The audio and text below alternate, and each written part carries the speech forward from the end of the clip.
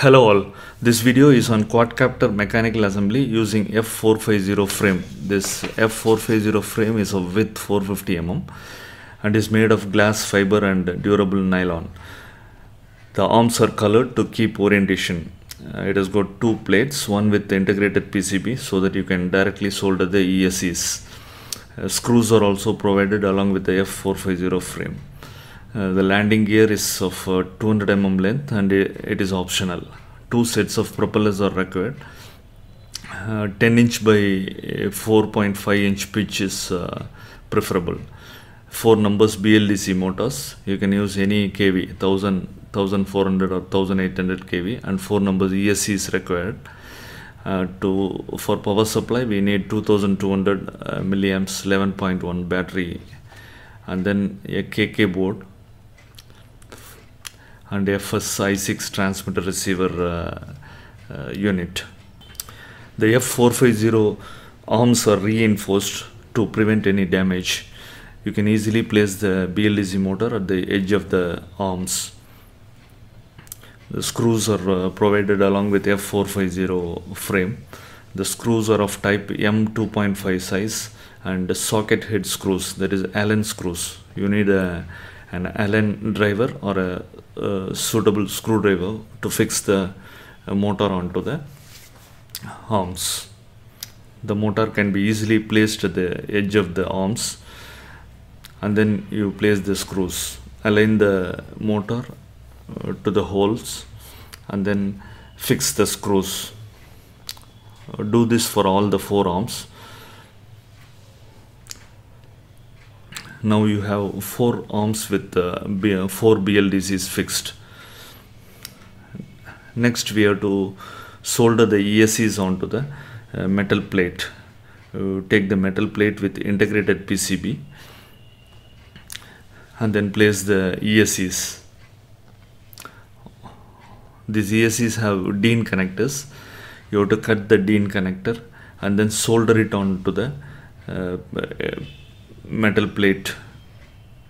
This plate avoids the need of any uh, separate distribution board. You can directly solder the ESCs onto the uh, metal plate. The power is distributed uh, using integrated PCB connections. Cut out the DIN connector of ESCs and then uh, use a stripper to remove the sleeve on uh, red and black wires use a good soldering iron and flux to solder the red wire to positive and uh, black wire to negative. Take care uh, so that uh, uh the red goes to positive and uh, black goes to negative. If you reverse it the ESC will fail. Like this uh, you have to solder all the four ESCs onto the metal plate use good uh, good flux so that uh, the solder applies properly and fixes properly the ESCs. Uh, like this you have to solder all the four ESCs to the base plate. Once the soldering is over you need a, a DIN connector like this to connect the battery. You can uh, either take it from an old ESC or purchase it separately solder the positive wire red wire to plus and uh, negative wire uh, black one to minus. You should be careful in this uh, plus and minus.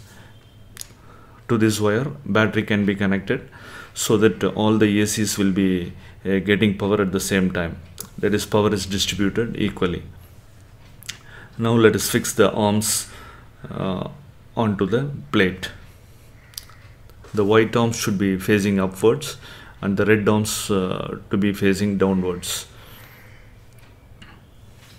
Align the holes of the arms to the uh, at the uh, to the screws of the plate and then fix the screws. In this way you have to fix all the four uh, arms. And finally you can uh, uh, use cable ties to Uh, fix the ESCs onto the frames. Watch out the fixing done in the course. Thank you.